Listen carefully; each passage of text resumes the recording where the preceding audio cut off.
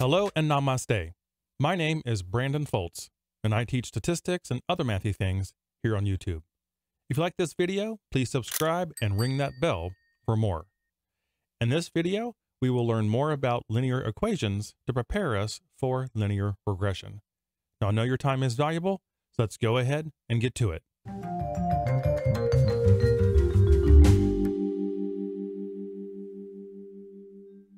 Let's zoom in here so we can read everything. This asks us, use the columns year and flu cases diagnosed. Why is year the independent variable. So why is the independent variable. And number of flu cases diagnosed, the dependent variable. So that's what it's just asking us about the independent and dependent variables. And I will say that I'm recording this video during the COVID-19 pandemic, so this is kind of ironic in a way. But what we're asking here is what is the number of flu cases as a function of time. What we're asking another way is what are the number of flu cases diagnosed dependent on the year that we're in? It might look something like this if we graph it. So X and Y. And then our X axis here will be time. And then of course the Y will be uh, cases, flu cases.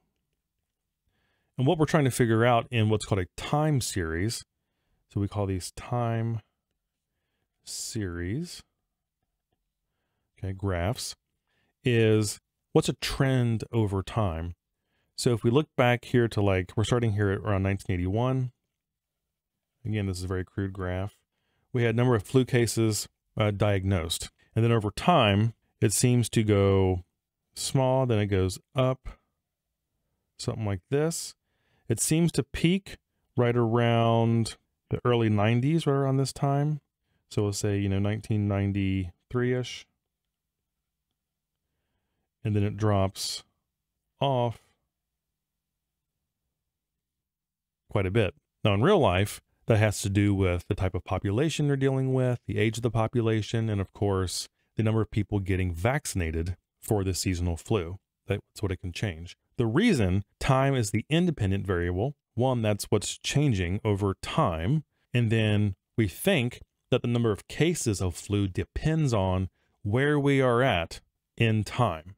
And that's why time is independent and number of cases is the dependent. Okay, so that wraps up this video.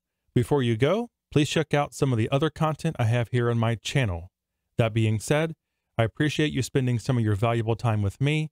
I wish you all the best in your work and in your studies and I look forward to seeing you again next time. Take care. Bye bye.